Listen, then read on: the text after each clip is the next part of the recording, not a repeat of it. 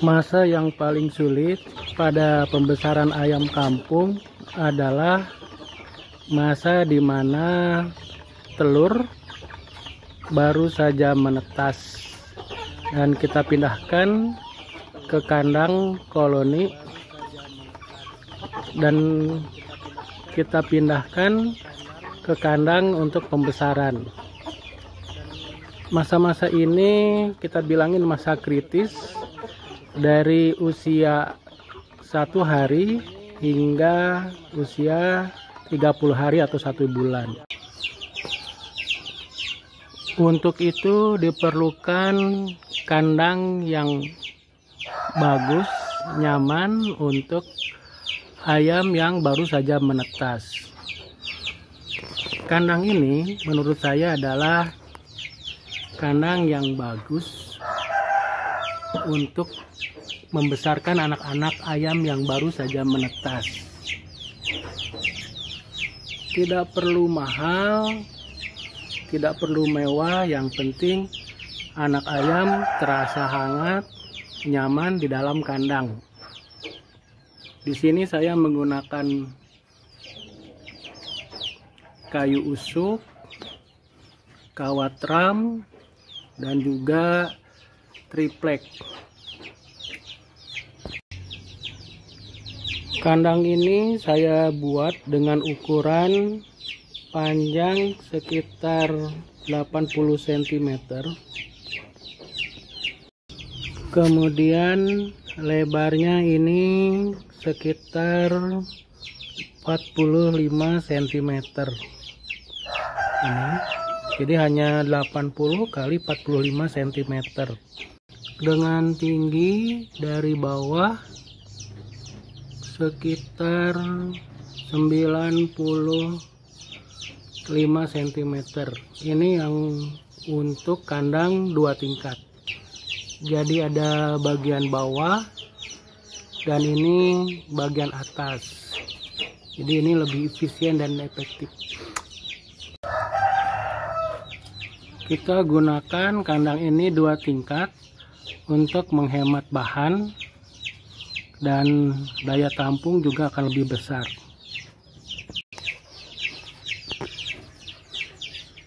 Triplet yang kita gunakan ini yang paling murah saja. Ketebalannya sekitar 3 mm seperti ini. Ini cukup. Fungsi triplek ini adalah sebagai penghalang angin atau udara dingin pada saat malam hari lapisan triplek ini menutupi bagian samping bagian belakang bagian atas. Ini fungsinya untuk mengurangi atau untuk menghangatkan badan anak-anak ayam pada waktu malam hari.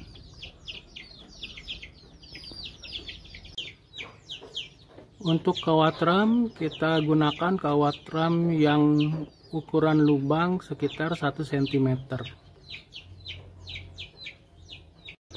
untuk bagian alas ini masing-masing tingkat menggunakan kawat ram. Mengapa menggunakan kawat ram?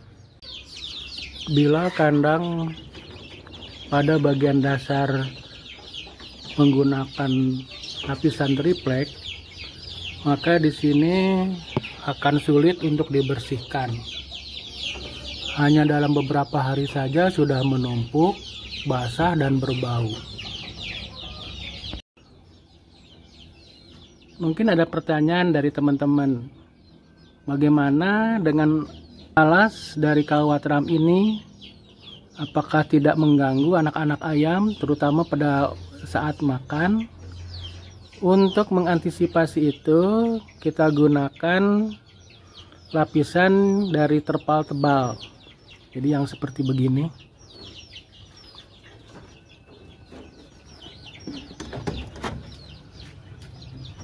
Nah, alas terpal ini kita berikan di atas lapisan kawat ram. Dengan menggunakan alas seperti ini, jika ada kotoran maka dengan mudah kita bisa mencucinya. Hanya setengah bagian dari alas kandang ini yang kita beri alas terpal. Ini memudahkan kotoran bisa langsung ke bagian dasar sehingga nanti di bagian dasarnya bisa kita tampung dengan menggunakan lapisan terpal yang lebih lebar sehingga mudah dalam pembersihannya. Untuk bagian bawah pun kita berikan lapisan terpal juga di sini. Ini. Ya.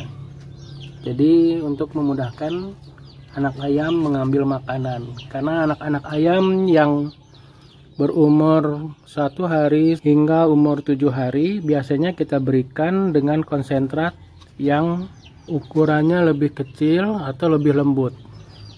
Untuk anak ayam yang berumur 0 hari sampai berumur tujuh hari maka biasanya makanan itu kita berikan dengan cara ditaburkan. Ini untuk memudahkan pemberian makan dan makan dari anak-anak ayam yang masih baru tetapi bila lewat tujuh hari di sana anak-anak ayam sudah terbiasa makan kita siapkan tempat makan seperti begini. Ini saya buat dari bambu. Kita potong setengahnya. Kemudian pada bagian bawah kita kasih potongan papan supaya wadah pakan ini tidak goyang stabil seperti ini. Mengapa kita pakai bambu begini? Tujuannya adalah agar anak ayam anak ayam itu bisa menjangkau makanan yang disiapkan. Dengan seperti begini nanti anak ayam ini akan berbaris di sini ngambil makanan. Jadi dengan demikian semuanya akan mendapat bagian makanan. Pada kamar sebelah atas dari kandang kita berikan lampu. Pada bagian lantai dasar pun kita beri lampu. Kita gunakan lampu yang 5 watt saja. Biasa kita sebut dengan lampu kuning jadi bukan lampu led karena ini lampu seperti ini lebih hangat dibandingkan dengan lampu led ini pada bagian dasar jadi kamar yang sebelah bawah di sini lampunya kita balik seperti begini jadi dia mengarah ke samping tidak menunduk ke bawah seperti yang di atas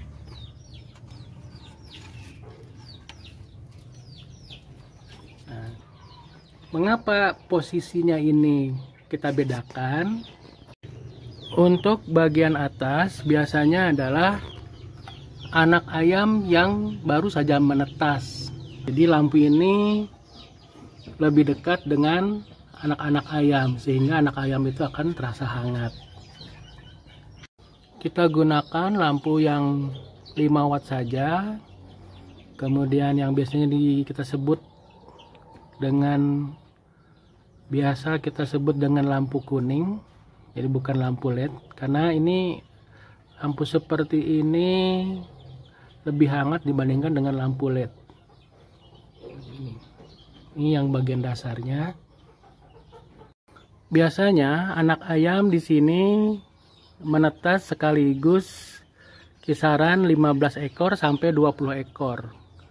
Dengan ukuran satu kamar saja ini sudah cukup.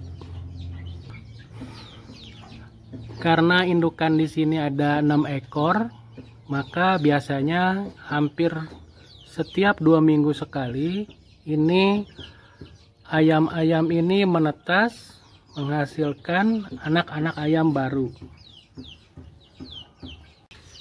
Jika anak ayam itu pada bagian atas sudah berumur satu minggu yang di bagian bawah itu umur dua minggu maka lampu yang di atas bisa kita matikan cukup dengan menggunakan lampu yang sebelah bawah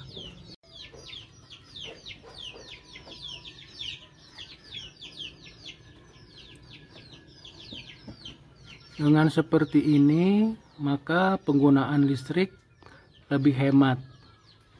Jadi kandang yang sebelah bawah hangat kandang yang sebelah atas pun hangat.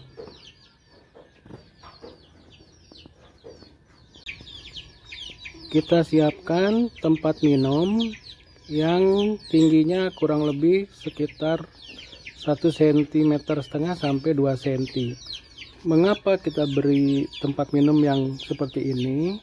Ini untuk menghindari anak ayam kerendam atau tercebur di dalam air minumnya. Jadi ini kita taruh. Tempat air minum ini kita taruh kita ikat pada kawat ram. Jadi sehingga sehingga mudah kita bersihkan kita lepas. Sehingga mudah sehingga bisa sehingga mudah kita lepaskan dan kita bersihkan